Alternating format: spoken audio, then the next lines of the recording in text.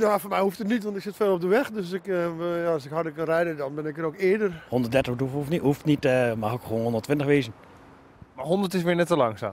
Uh, is in principe te langzaam. Ik denk dat, dat dat kleine stukje minder hard in dit kleine landje niet zo heel veel uitmaakt. Althans mij persoonlijk niet. Ik wil liever 130. Als we dat willen nog uh, uh, een beetje omhoog krikken naar 140, dan vind ik het uitstekend. Eerlijk gezegd. Zelfs nog harder? Ja, ietsje nog harder, dat kan ook. Eerder al werd geadviseerd om de maximumsnelheid op wegen bij natuurgebieden te verlagen, om zo de stikstof terug te dringen. Nu ligt ook de optie op tafel om dit voor alle snelwegen te doen. Het kabinet gaat snel een besluit nemen, want de woningmarkt zit op slot.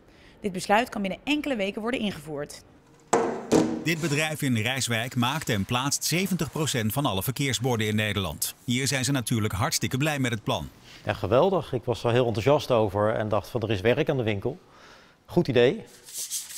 Als de maximumsnelheid naar 100 km per uur gaat, moeten ze hier in rap tempo 1500 verkeersborden maken. Ja, met meerdere ploegen gaan we daar best wel een maand uh, mee zoet zijn. Ja. Zijn jullie al benaderd door de minister? Nee. Wat denk je, gaat het gebeuren? Vast wel. Het was in 2012 met de 130 kilometer een last-minute actie. Toen hebben we de eerste week van augustus een opdracht gekregen en 1 september moest het klaar zijn. Dus we zijn daartoe in staat, is eerder bewezen. Uh, het kan dus. Volgens experts is nog niet duidelijk of een snelheidsverlaging voldoende stikstofvoordeel oplevert.